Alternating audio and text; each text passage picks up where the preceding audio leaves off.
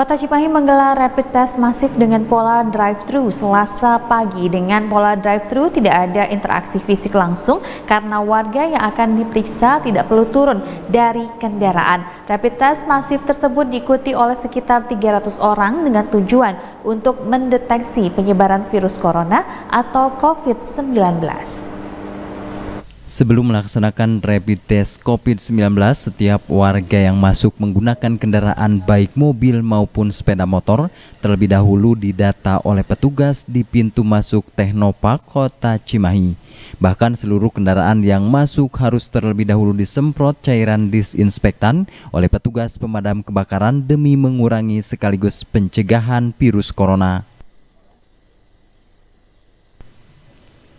Di lokasi pemeriksaan, puluhan petugas terlihat mengenakan alat pelindung diri atau ADP untuk memeriksa warga. Namun tak sedikit petugas yang mengenakan ADP terbuat dari jas hujan karena persediaan terbatas. Total ada sekitar 300 warga yang sudah mendapatkan undangan untuk mengikuti rapid test masif. Undangan yang hadir merupakan warga biasa atau yang masuk kriteria ODP asal kota Cimahi.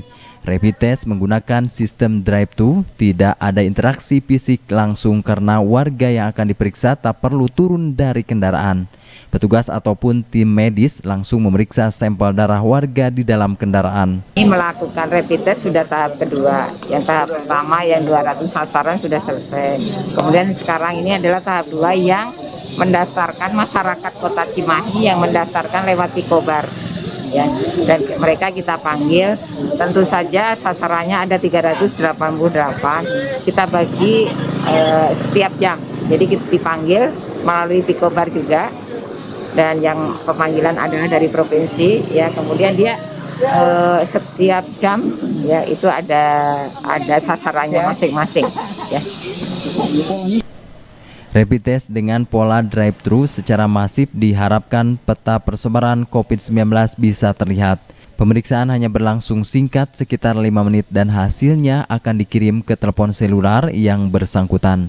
Kota Cimahi zona merah dalam peta persebaran COVID-19 karena sudah ada tiga orang yang dinyatakan positif meninggal dunia, sementara sekitar 120 orang lainnya masuk dalam ODP. Algi Muhammad Gifari, Bandung TV.